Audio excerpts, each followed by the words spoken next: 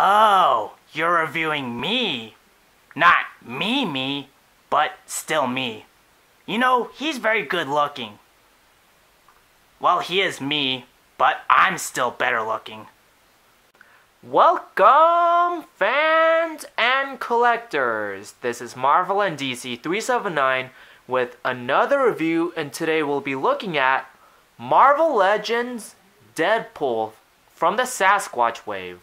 So, of course, I'm going to get this figure because I love Deadpool. I love him as much as Spider Man and Green Lantern.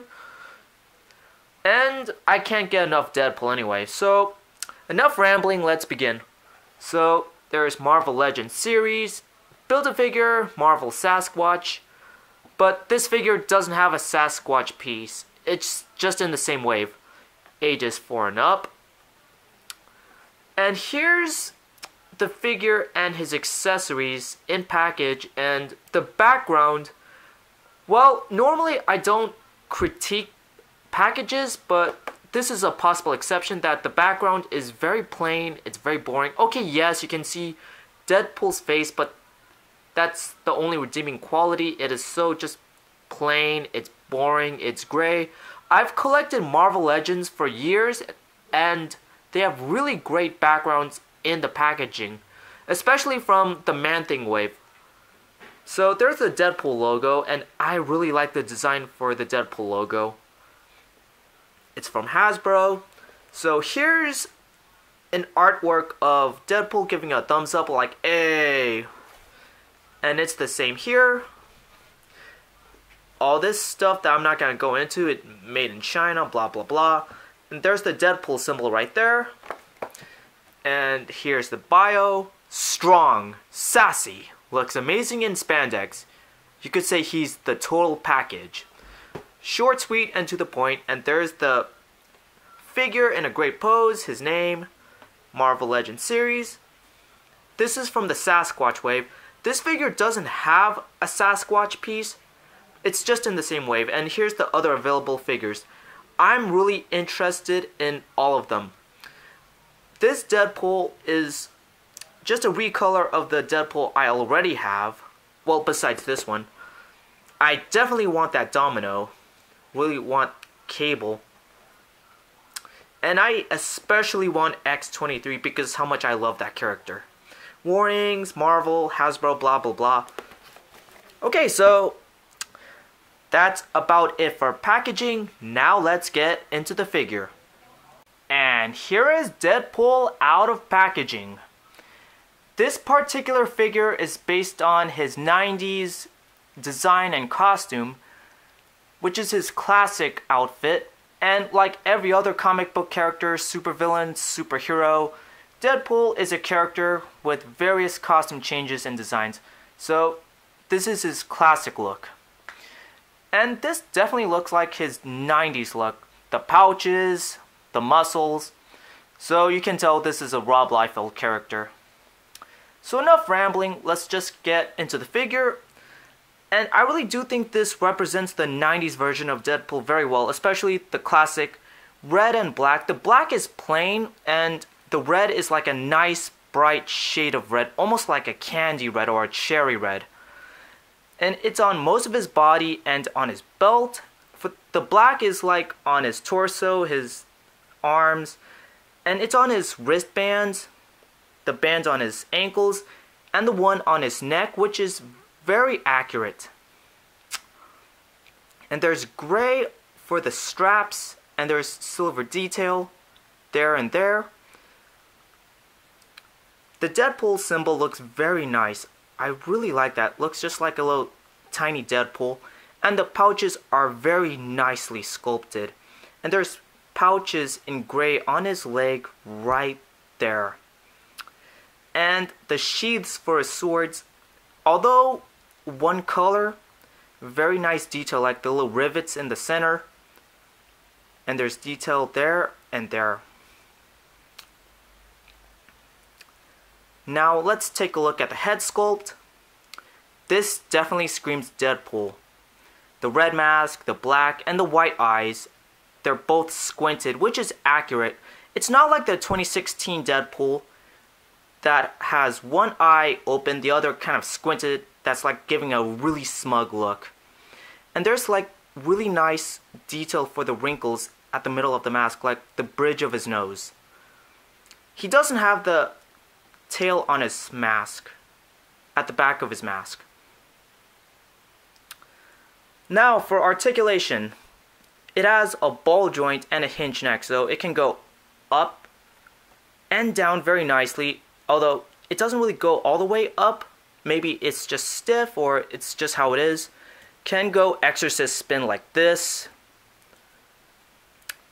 The the shoulders are on hinges, so it can go up and down all the way around. And it's on butterfly shoulder joints too, so it can go forward and back. The torso is on a ball joint or a hinge. The elbows are double hinge, so really nice bend. Not all the way, but it's good enough. The wrists are on a hinge swivel, so it can go in and out and spin. The legs are ball jointed and has a thigh swivel. There's double hinged knee. There's a calf swivel and hinged ankles and has that awesome ankle pivot. So, really good articulation. You really need it for a loudmouth assassin like Deadpool.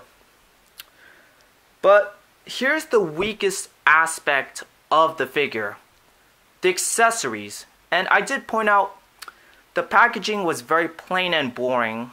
And one of the reasons why is because the lack of accessories. The 2016 Deadpool, he has a really high accessory count. He has around 10 or 11 because the Juggernaut Deadpool despite the fact that he lacks a Juggernaut Build-A-Figure piece, was able to make it up for all for his accessory count. This figure, however, only has two. You see these swords on his sheaths. That's all he has. For some people, that's either a good thing or a bad thing. For me, it's basically give or take because I would love to see more accessories, but I'm more of a sword guy anyway, and I'm to display him with swords anyway, like with my 2016 Deadpool. So these are his swords. And from my knowledge, they're based on ninjato, also known as shinobi katana, which are ninja, ninja swords with a short straight blade unlike a katana that has a long curved blade. And I will bring in the 2016 Deadpool swords for comparison. So here's a comparison between the Sasquatch Wave Deadpool and the Juggernaut Wave Deadpool swords. And you can see the difference is night and day. This is a katana, which is more commonly associated with samurai, this is a ninjato, which is more commonly associated with ninjas. And it's clearly obvious. This has a curved blade and it's much longer while this one has a short straight blade. And it's very common that a lot of people would associate katanas with ninjas, but that's not always the case. So I'm really glad that they gave us different swords. It's not just a reuse of an existing Deadpool sword like this, which I do appreciate. Now, the samegawa or the wrapping of the handle is, well, if I were to be honest, pretty bland. I'm, mean, I appreciate where they were going for, but it could have been slightly better with the coloring especially the diamond pattern for the samegawa. I wish it would have been painted silver. And if it were gray, just like the sword, it would have been boring and bland. If it were silver, it would stand out and look much better. But hey, what can you do? He does hold them very nicely and securely like so.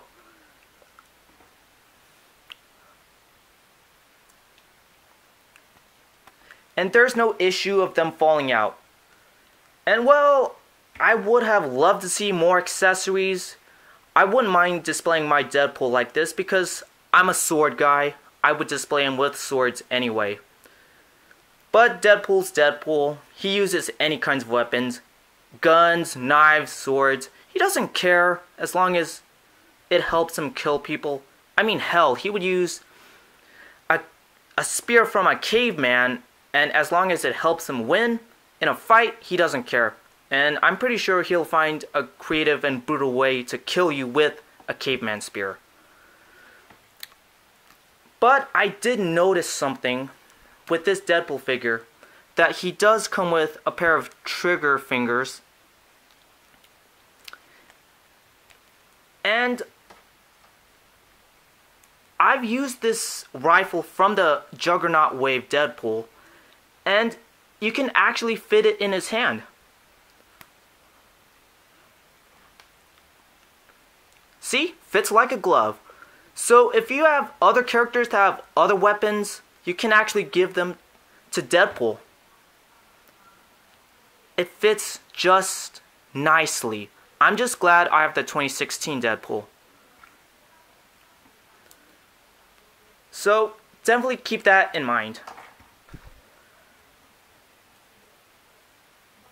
And if you're curious, Yes, the unmasked Deadpool head from the Juggernaut Deadpool actually fits the Sasquatch Wave Deadpool. I just want to show you how it looks. So, this makes me even more glad that I have the Juggernaut Wave Deadpool. So you can have this Deadpool borrow this Juggernaut Wave's Deadpool's accessories. So enough of that, let's get into comparisons. This comparison was bound to happen. So here's the Sasquatch Wave Deadpool compared to his Juggernaut Wave counterpart. And you can tell the differences by just looking at both of them. It is just night and day. Clearly, like the colors, like this Deadpool, his red is more like a dark red or a blood red, while this Deadpool is more like a really bright apple red or candy red. This is more based on his modern design, while this is more based on his classic design. And the molds are clearly different. Even by just looking at them, you can tell their body molds are different. And just for fun, here he is with Boba Fett, and for the most part, they're the same height and I'm gonna do this as a recurring thing for my reviews from now on. I'm gonna make a size comparison between some of my favorite fictional mercenaries in different franchises. My final thoughts? To be completely honest, this figure is basically what you see is what you get. This figure is in the Sasquatch wave, but has no Build-A-Figure piece. And you would think, oh, he has a lot of accessories to make that up, just like the Juggernaut Wave version of Deadpool, but no, sadly. And it's basically give or take. I mean, I would have loved to see more accessories, but he comes with the swords, and I'm gonna display him with the swords anyway, because I'm a sword guy. I mean, the Juggernaut Wave version of Deadpool he comes with a good amount of accessories and he even came with a taco. That's not necessary, but that was very thoughtful of Hasbro. But when it comes to the figure itself, you get the classic design. So if you want to pick this figure up, that's completely up to you. I picked him up I picked him up because I love Deadpool just like what I said earlier. I love him as much as Spider-Man and Green Lantern. So, this has been it for my review. Thank you for watching. I'll see you in the next. So until then, chimichanga! Hey Charles, can I be in your videos as this guy from now on? I mean, he's basically just me, but in a different costume. And I really like this look. I mean, this is where I started off. Well, Deadpool? Sure. I mean, why not? it's like what you said, it's just you in a different costume. Yeah!